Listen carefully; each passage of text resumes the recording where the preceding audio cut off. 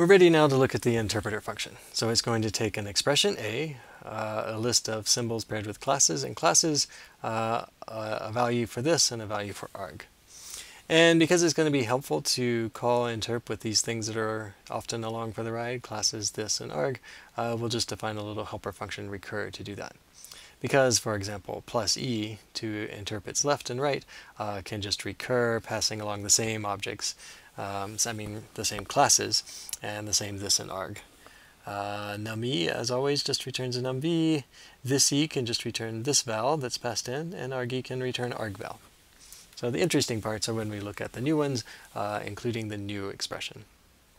With a new, we have a class name, and we have a list of field expressions. Um, so for the class name, we can use that with find to go find a class in our list of classes. And with the expressions, well, of course, we should interp all of them. So we can just map recur over that list of expressions and we get back a list of values. So now we've got a class and we've got a list of values.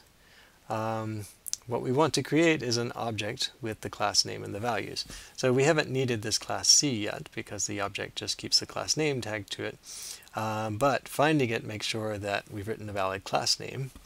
And also we need to make sure that this class has the same number of fields as we have field expressions here. So we can uh, do a check here. We can make sure the length of the vowels that we computed matches the length of the fields that the, the class C uh, has in it. And uh, as long as that matches up, then we return our obj Otherwise, uh, there's a wrong field count error. Let's look at get. Get has an expression for the object and then a name for a field. Uh, this is an expression, so we should interpret and after we interpret, we hope that we get an object back. So we do a type case and look for object v. If it is an object v, then we have a class name and we have the field values. So we have to find the field name, uh, which of these field values correspond to that name. That information is in the class. So we uh, go find the class uh, in our list of class declarations, uh, do a type case on that, which will always be a class C, and that has the field names in it. So this field names is in parallel to these field values, and we are looking for the one that's called field name. Um, so that's what we've got to work with right now. Uh, the names are parallel to the values. Uh, we don't have a function right now that does a find uh, on these two parallel lists, but we can just take the list and put them together in tuples with values, uh, and then we can use find on that. Right, so we're mapping values over the list of field names and values to get the usual sort of list of tuples that finds expects, and then looking for the field name, and we should get one of those values, and that's exactly what, uh, what get is supposed to do. To send an object a method, again, we have two expressions, so we should interpret those expressions. Uh, the first one hopefully gives us an object back, and the second one gives us any kind of argument that we're passing to the object. To make sure it's an object, we do a type case, um, and if it is an obj v, we'll have a class name and a field, uh, field values. And the class name is relevant because that's where we're going to go look to find the method name. This is the dynamic part of a dynamic method send. We had to go evaluate the object expression to get an object and look inside that object at runtime to find out what class has the method.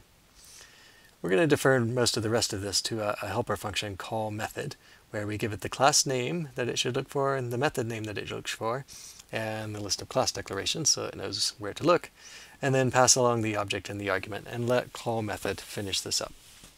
And the reason we do that is because send and send are going to have a lot in common. But let's go look at that helper function right away. Uh, that function takes the class name and the class method and the method name again. So we uh, look for the class. Uh, we type case on that. It's definitely going to be a class C with some field names and methods. This list of methods is where we want to look for that method name. So we just do another find on methods. That gives us the body expression of the method. So uh, let's just call that body exper. And that is what we want to interpret. So when you call a method, you evaluate or interpret the body of the method. We need to pass along the classes in case the body does a new or uh, a static send where it needs to look up a class. Uh, and then of course we pass the object right? We are calling a method of this object, so that object becomes the new this, and we were calling the method passing along this argument value, so we pass that along to interp. That leaves us with static send. Uh, static send is a lot like regular send at first. We have two expressions that we need to interp, so we do that. Hopefully we get an object back, But we don't actually need to check uh, that it's an object right now because we don't need the class name.